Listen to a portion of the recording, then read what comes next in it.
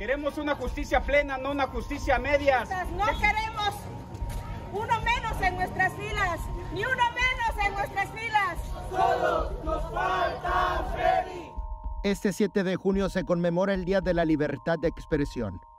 Durante el año pasado, 67 periodistas fueron asesinados en todo el mundo, de los cuales cerca de la mitad murieron en Latinoamérica y 17 de ellos en México.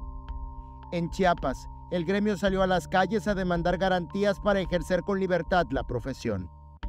Una fecha que nos une cada año con menos alegría, pero sí con más tristeza, coraje e impotencia.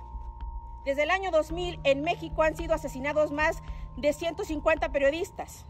De acuerdo con la organización Artículo 19, el año 2022 es considerado el más mortífero para el periodismo en el mundo y México ocupa el segundo lugar con 15 periodistas muertos de ese año, solo detrás de Ucrania, un país que está en guerra.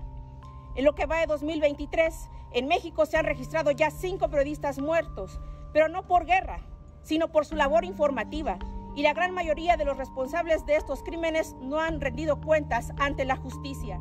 Y en el Estado, en lo que va de 2023 se han registrado 11 agresiones a periodistas. Estas son algunas.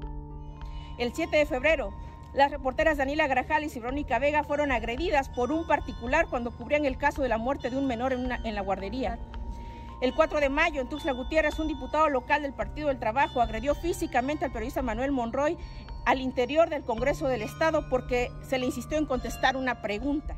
Por imágenes de Christopher Canter, Eric Ordóñez, Alerta Chiapas.